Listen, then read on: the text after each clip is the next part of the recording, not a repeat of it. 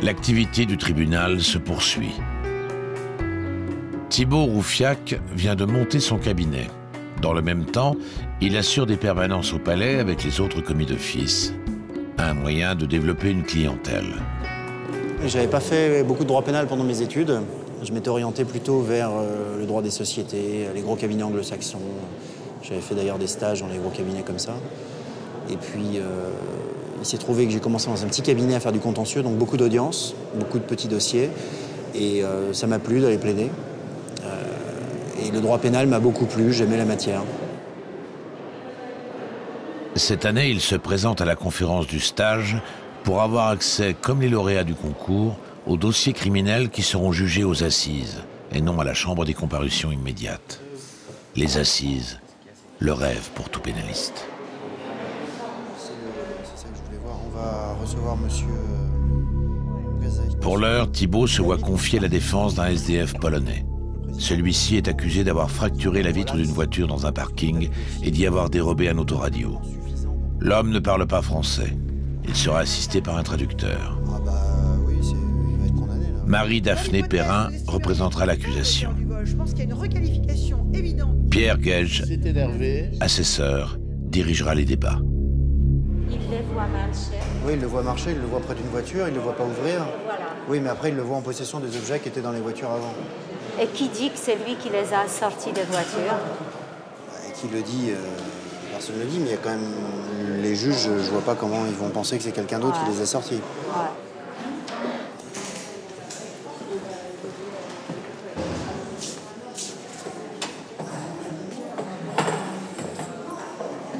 Qu'il y a dans le dossier, c'est que les vigiles disent qu'ils vous ont vu à plusieurs reprises, au moins deux fois, être à côté de voitures qui ne vous appartiennent pas. J'ai peur, que, peur que le tribunal ne croit pas votre version. Et en plus, il semblerait que vous avez peut-être un, vous avez peut-être un problème d'alcoolisme. Ouais. Vous pouvez dire que vous comptez rentrer en Pologne et que si vous ne l'avez pas encore fait, c'est parce que vous n'avez pas d'argent pour le faire pour le moment. Oh, oh, oh, la seule chose que j'ai à vous demander, faites pour le mieux. Ben, je vais faire pour le mieux, monsieur. J'aime euh, rencontrer des gens, j'aime le contact, j'aime me déplacer. Euh, c'est vivant. Vous vous battez, bien ou mal, mais euh, et puis vous avez peut-être l'impression, encore une fois, de servir à quelque chose, même si c'est peut-être un peu prétentieux de dire ça, mais voilà. L'audience est ouverte, vous pouvez vous asseoir. 13h30, début de l'audience. Il lui est reproché d'avoir euh, dégradé trois véhicules dans le parking de la FNAC, près de la place des Ternes. Ce monsieur s'était levé à l'approche des, agents de sécurité, s'est énervé.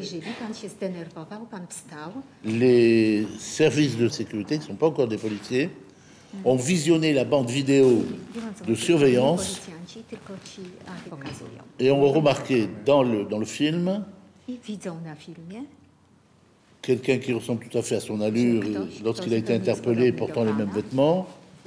c'est celle-là Là, on le voit simplement dans la On le voit s'approcher des deux. On, voit effectivement quelqu'un qui est vêtu comme monsieur. En tout cas, c'est à mon avis exactement la même silhouette et une. On, le voit déambuler dans l'allée, mais on le voit pas en train de dégrader les voitures. On voit effectivement qu'il déambule dans l'allée où sont garées Madame, si vous voulez bien lui expliquer que nous ne recherchons pas un, coupable, mais nous recherchons le coupable. monsieur, monsieur, je vais vous poser une dernière question. Avec quel argent vous avez bu tant d'alcool Skąd pan miał pieniądze, żeby tak się upić? Skąd miał pan pieniądze na alkohol? Czy pan sprzedał te rzeczy ukradzione? Nie, mój kolega miał ukradł Monoprix. Co, alkohol? Tak. C'est mon copain qui a volé au Monoprix de l'alcool. Bien. Trois bouteilles whisky. C'est une réponse. Et on se soulève avec ça. Bien. Voilà. Pas de questions. Pas de questions, Monsieur le Président. Bien. Moi, j'estime qu'il y a quand même des éléments euh, essentiels. Dans l'hypothèse où vous estimeriez qu'il n'est pas l'auteur du vol, je pense qu'il y a une requalification évidente en recel de vol qui peut être opérée. Il est dans le parking, il s'affaire auprès de deux véhicules. On a ça sur les bandes, on a le témoignage de M. Navarro, on a la télécommande sur lui. Je regrette. À tout le moins, si vous n'entrez pas en voie de condamnation comme, comme euh, étant l'auteur des vols avec dégradation, je requiers la peine de trois mois d'emprisonnement avec mandat de dépôt à l'encontre de cette personne. Merci, Madame le procureur. Maître, vous avez la parole pour euh, la Merci, défense. Monsieur le Président. Monsieur le Président, Madame, Monsieur, je crois qu'il y a deux choses qui sont sûres dans ce dossier.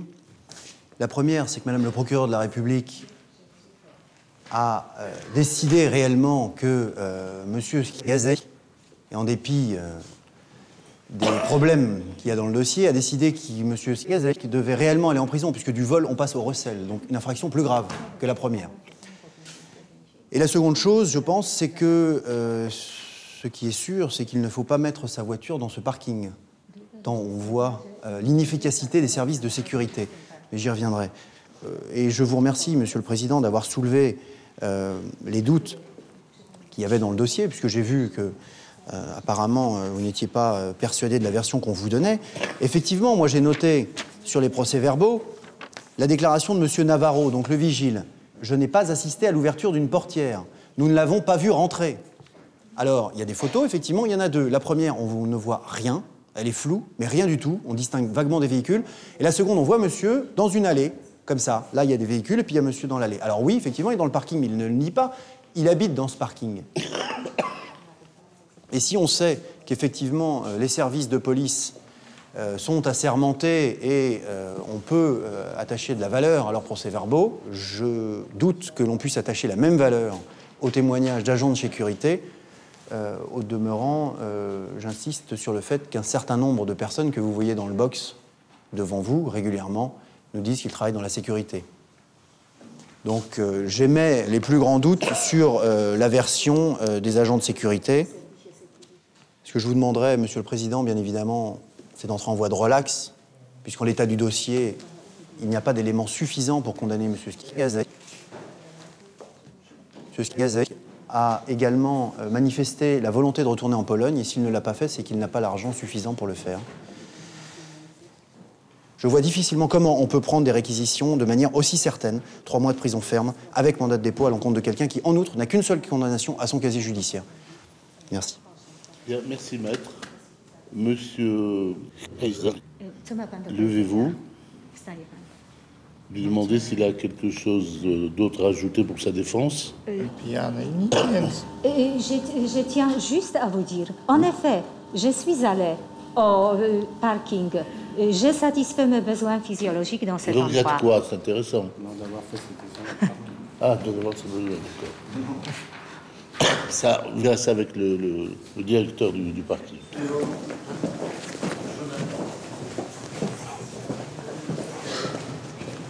Ouais, non mais attends, elle est relou. elle. C'est excité euh, parce qu'il veut les caméras. Enfin, Ouais, ouais, ouais, c'est clair. C'est pas possible, on a fait le même coup, ça m'a hystérique. Non mais qu'elle fasse, euh, qu'elle fasse son petit En attendant les résultats, les commis d'office commentent les affaires du jour. La drogue, c'est pas dangereux, Là, pourquoi pas, mais je d'être, euh, Genre, c'était des crimes, euh, cour d'assises. Non, mais il faut être cohérent, quoi. ouais. Et je- ils sont prêts à condamner tout le monde sous prétexte qu'ils sont là, qu'ils sont envoyés en comparution immédiate, comme si on cherchait la rentabilité, quoi.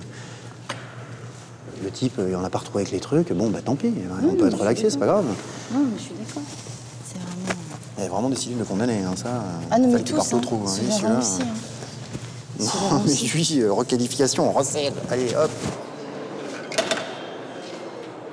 Procureur contre avocat. Un combat parfois usant. Ça dépend du procureur que vous avez, ça tourne euh, régulièrement. Euh, elle était assez sévère. On est euh, fatigué, on se dit que euh, on est un peu blasé parce que euh, on a l'impression que la seule peine euh, leur reste, c'est la prison et qu'ils envoient tout le monde en prison et que pour eux deux, trois mois, quatre mois, cinq mois de prison, c'est pas long après tout. Et que certaines personnes, les toxicomanes, les alcooliques, euh, après tout, ils seront mis en prison puisque ça va les sevrer. Moi, je pense que la prison, euh, faite peut-être pour une certaine catégorie de gens, mais pas pour tous. Et malheureusement, ils ont tendance à envoyer beaucoup de monde en prison. Mais c'est vrai qu'ils n'ont pas non plus 36 peines euh, différentes. Mais je pense qu'ils pourraient se débrouiller pour trouver autre chose quand même. Alors, vous indiquez à M. Kazek qu'il est relaxé au moins au bénéfice du doute. Il est relaxé. Merci beaucoup. Alors l'audience est levée. Comment elle remercie les scores Ça vous redonne euh, un peu foi en, euh, je dirais pas la justice, mais si la justice, et puis ça vous donne l'impression que ça sert pas à rien de plaider parfois. Voilà, non, je pense que c'est bien. Dans ce dossier, euh, il n'y avait pas suffisamment d'éléments pour condamner ce, ce, pauvre type. euh, bon. Voilà, et puis le procureur euh, était un peu sévère quand même.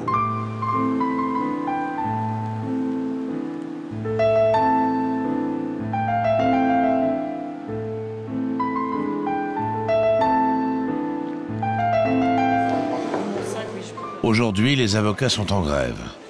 Ils réclament une revalorisation de leurs indemnités lorsqu'ils sont commis d'office. Tu fais rien. Tu fais rien. Rien. Si on fait une grève, on la fait totale jusqu'au bout. C'est pour ça que je suis moi ici et je ne laisse pas. Car le système de l'aide juridictionnelle qui permet à tout citoyen d'avoir un avocat est en panne de financement. Les commis d'office ne perçoivent qu'une simple indemnisation qui en ferait les moins bien payés d'Europe. On ne demande pas la lune, on demande exactement ce que, ce que les autres barreaux européens en ont. Ouais, il faut surtout peut-être revoir le système en France, le budget du ministère de la Justice ne représente que 2% du budget de l'État. Une goutte d'eau. Euh, Qu'est-ce que je vais te dire? Euh, On arrête tout, moi je vais me dire aux autres, mais je reviens. Mais pour l'instant, arrêt complet. Merci. D'accord? Très bien. Jean Ballan, membre du Conseil de l'ordre, va maintenant prévenir les juges que les avocats ne plaideront pas aujourd'hui. Ah, Bonjour, Maître Ballon. Simon du Conseil de l'ordre, euh, mais je vous avertis qu'aujourd'hui, euh, vous prenez si vous voulez des vacances ou pas, il y a grève totale. Ah bon Ah, même, oui, pour total. les... On a... même pour les comparutions Même pour les... Surtout, surtout pour les Donc on comparutions. va être obligé de renvoyer tout le monde Bah oui, C'est pas oui, obligé d'aller oui, sans oui. avocat. on Oui, peut. Ah ouais, mais c'est embêtant parce que pour le renvoi, normalement, il faut qu'il soit assisté par un avocat. On a décidé de faire une- un arrêt de toutes les activités juridictionnelles. C'est le Conseil national des barreaux qui a pris cette décision. C'est pas nouveau, hein, les problèmes de l'aide juridictionnelle. Non, mais ça devient réellement... Vous savez, il y a 3000 avocats par an à Paris qui disparaissent. 3000 par an 3000. Et seulement à côté. 3000. C'est beaucoup. C'est beaucoup. Sur, il y a des 3000, gens sur qui... combien 20, 20 Sur euh, 18 000. Mais 18 bon, 000, mais ouais. 3 000 tous les ans pratiquement. Ouais, Donc, ouais. euh, C'est- C'est c'est un peu une situation difficile pour le tribunal parce qu'il dit on peut certes demander aux, aux intéressés d'a- d'accepter de comparaître sans avocat, ils peuvent toujours se défendre eux-mêmes. Enfin, c'est quand même toujours délicat, surtout dans le cadre d'une procédure rapide. Euh, donc le il est probable que toutes les affaires seront renvoyées. hein. Mais bon, ça, le tribunal en délibérera évidemment cet après-midi. hein. c'est tirer la couverture à moi et ça n'a Dans une salle d'audience voisine, la grève ne gêne pas le prévenu. Alors, l'audience correctionnelle est reprise. Veuillez vous asseoir.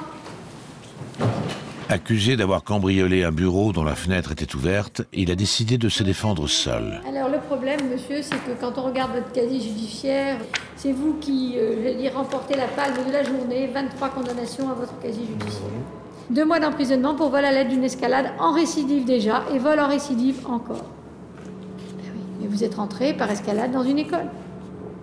Ouais, encore une Ah, fenêtre ouverte. Encore une fenêtre ouverte. Mais vous pouvez, vous pouvez aller faire de l'escalade dans la forêt de Fontainebleau. Mais je l'ai- non, je l'ai fait en Suisse, je l'ai fait en Suisse. Bon, alors écoutez, monsieur, vous avez l'air très sûr de vous, très sûr de vous défendre, tout seul, etc. Mais qu'est-ce que vous avez à dire devant des faits comme ça? Bah, la vérité, euh, je pense que vous la voyez, la La vérité. vérité, je résiste pas, je monte, je rentre, je visite, je saute, euh, voilà. Je pense. Vous les exagérez vraiment. Mais à partir de quoi j'exagère? À partir de. À partir de quoi? C'est la faute Des gens qui laissent les fenêtres ouvertes. Bientôt, il va falloir euh, vivre avec un mur en béton tout autour de soi, comme ça on sera sûr de, que, qu'on vous accusera pas d'a- d'avoir tenté les gens qui passent dans la rue de rentrer chez vous. Ce que j'essaie de vous exprimer, c'est que ces personnes ont été cambriolées il y a une semaine. Il y en a qui laissent la, la lumière allumée, ouverte. C'est pas ça, ils m'ont dit, c'est au Ça même veut dire endroit. entrez, prenez tout. La délinquance, ça fait travailler la justice, ça fait travailler la police, ça fait travailler les avocats. Faut rien m'apprendre à moi. Moi, je sais que je vous fais travailler, là, en faisant. Oui. Même si vous on dites. s'en passerait bien, cher monsieur. Sérieux, on s'en madame passerait bien de sortir. Ah, si vous Ah, saviez. On n'est pas sorti, voyez-vous, il est 21h30 et nous avons encore 5 affaires à juger. Eh bien, à mon avis, on, dé- on dépassera minuit. Et moi, si j'ai laissé ma fenêtre ouverte ce matin chez moi, en sortant, eh bien, effectivement, à minuit, elle sera encore ouverte. Eh ben, je l'espère pour vous. Je l'espère pour vous. Bien, monsieur le procureur, quelles sont vos réquisitions Bah, Madame le Président. Je crois qu'il faut qu'on s'arrête à un certain moment. Oui, je crois qu'on a dépassé le stade de toute façon de ce qui est admissible euh, de la part d'un prévenu dans ses propos et dans sa provocation. Dans sa provocation. Alors, vous connaissez, vous savez ce que disait Oscar Wilde, hein, je résiste à tout, sauf à la tentation. Je crois que c'est un peu le cas de monsieur. Hein, il résiste ni à la tentation ni à la provocation ici, parce qu'elle est, elle est facile. Vous avez le condamné à la peine de 18 mois d'emprisonnement et décerné mandat de dépôt à son encontre. Je crois que euh, ce monsieur doit comprendre qu'il n'y a pas d'avenir dans ses pratiques et que, de toute évidence, je crois qu'il a l'intelligence nécessaire, je l'espère, pour faire autre chose. Monsieur, alors euh, vous voulez dire quelques mots? Parce que si c'est pour faire encore euh, Alors, je- le procès de la société, euh, dire, Non, on moi va je ne vous donne pas la parole jusqu'à minuit, je vous le dis tout de suite. Ok, ça va être vite fait. Euh, c'est vous qui m'avez appris à faire le mal, puisque vous m'engraissez dans vos prisons. Vous m'engraissez dans le mal, pas dans le bien. Qu'on me dise une seule, une seule solution, dites-les moi. Vous m'en avez jamais donné, vous. Vous, la justice. Simplement être enfermé dans une cage, attendre, manger, dormir. Un point, c'est tout. Trouvez-moi-en une seule solution, une seule. Je crois pas que vous en avez. Vous allez me faire ressortir, je vais ressortir dans 18 mois, ou disons, on va dire 12 mois. Qu'est-ce que je vais faire? Je vais faire quoi? Eh ben, la même Vous chose. pouvez arrêter Eh oui, Arrêtez, la même chose. Et on va bien. se retrouver, vous allez me dire, monsieur, c'est 18 mois, je veux plus 36 mois. Je vais ressortir au bout de 32, 32 mois. Qu'est-ce que je vais faire? Je fais quoi? Arrêtez donc. Arrêtez. Eh Alors donc, euh, faites-moi un statut, faites-moi un statut. Un point, c'est tout. Je pense que la... Bien. Merci monsieur, la décision sera rendue après suspension d'audience. Veuillez vous asseoir, merci. Le tribunal vous déclare coupable des faits qui vous sont reprochés. En répression vous condamne à 18 mois d'emprisonnement. Son insolence coûtera cher au prévenu. 18 mois Et ferme. 0h05, l'audience On ne s'adresse pas n'importe comment à un tribunal. Les avocats le savent bien.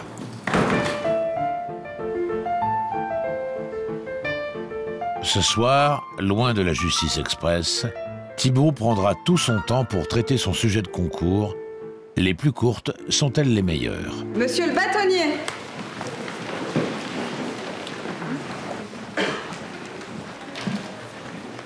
Les plus courtes sont-elles les meilleures Pour la négative, Monsieur Thibault Roufiac, vous avez la parole. Vous êtes bien assis? Tant mieux. Profitez-en. Profitez-en parce que vous n'êtes pas couché. Ah, vous avez voulu faire les malins. Les plus courtes sont-elles les meilleures? Eh bien, vous allez être servi. J'ai préparé 200 pages. 200 pages de blagues sur les Belges et sur les curés. 200 pages de blagues écrites une à une dans la sueur. Mais qui est donc à l'origine de ce sujet? Mais oui, mais bien sûr, c'est une femme, une femme qui veut faire passer un message. La taille est importante. C'est la taille de la voiture, c'est la taille du diamant, c'est la taille du compte en banque, puis c'est... Mais je m'emporte.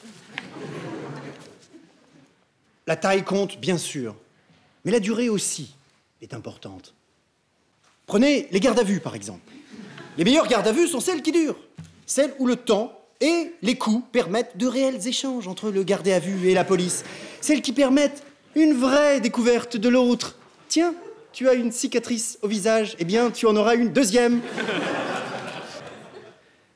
Et oui,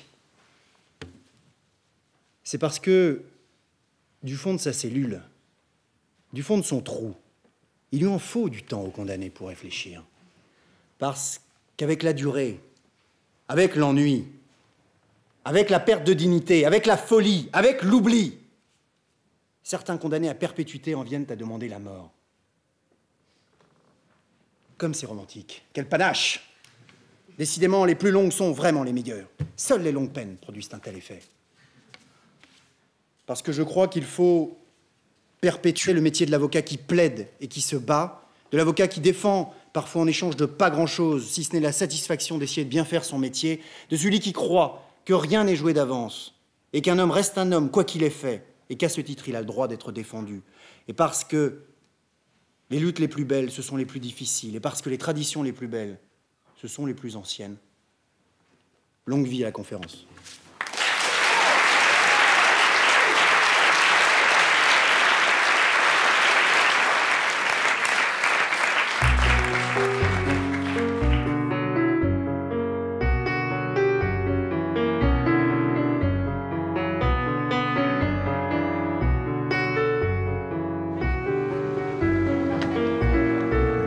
Après deux jours passés à huis clos pour élire les lauréats, les secrétaires de la conférence regagnent Paris.